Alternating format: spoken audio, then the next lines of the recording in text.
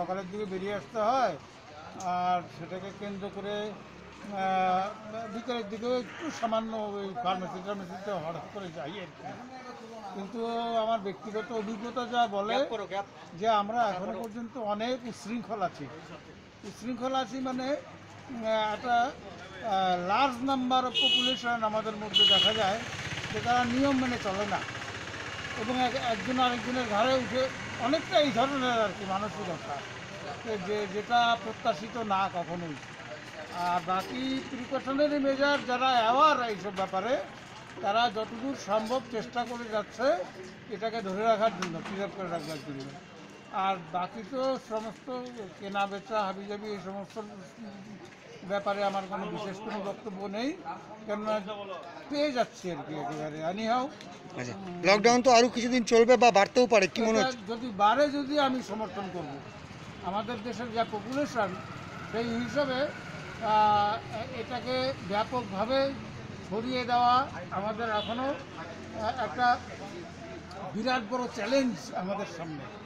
এটাকে এই মুহূর্তের মধ্যে মিরাকেল একটা ম্যাজিক করার মতন ব্যাপার নয়। এটা যদি চলে এবং সুষ্ঠুভাবে অর্থাৎ প্রশাসনের তরফ থেকে রাজনৈতিক দলের তরফ থেকে যৌথভাবে উদ্যোগ নিয়ে এবং জনসাধারণকে সেটা ছড়িয়ে দিয়ে জনসাধারণের সাহচর্য নিয়ে যদি বাস্তবে রূপায়িত করা যায় এবং মেডিকেল পয়েন্ট অফ ভিউ সেদিক সেই সেদিকটাও ঠিক রেখে তাহলে আশা করি অদূর ভবিষ্যতে আমাদের এই যে সংগ্রাম যেটা এটা হয়তো সফল হতে পারে। কি নাম আপনার? আমার নাম দিলীপ কুমার এবারে তো অনেক লোকজন ঘুরছে বাজারে।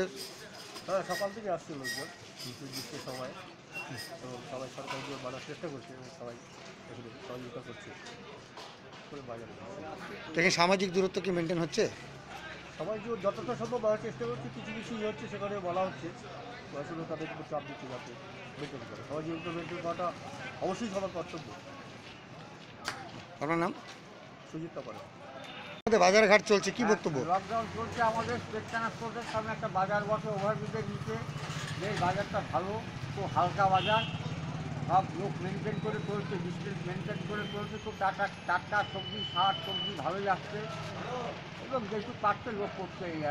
তা আপনি তো লকডাউন ভেঙে কি রাস্তায় কি জন্য সবজি বাজার করতে না এমনি কি কারণে আসলেন? আমি ওষুধের দোকানে ওষুধ দিতে এসছেন। মুখে মাস্ক করিনি আমি পান খাই ম্যাক্সিমাম পানে পানে আমার মাস্ক একদম ই হয়ে নষ্ট হয়ে যায়।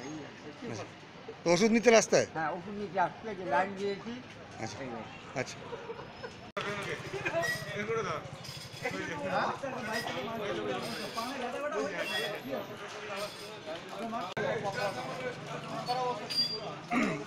কি অবস্থা লকডাউনে এখন? আজকে তো আমাদের গাড়ি ঘোড়া সব বন্ধ আমরা খাবার দাবারের মতো রিলিফ পাচ্ছি না আমরা।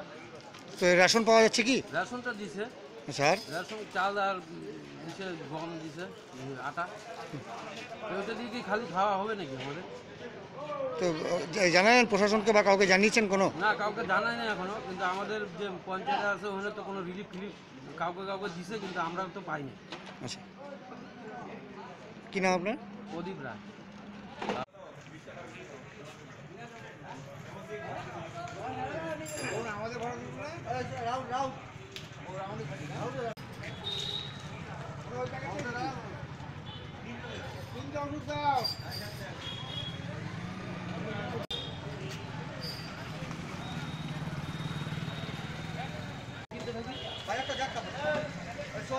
ওই অব্দি করে দিয়েছে বাজারের জন্য করতে পারে ওই দিকটা ফার্স্ট আসবে ওইখান থেকে করতে করতে আসছিল বাজার থেকে করতে পারে বাড়িতে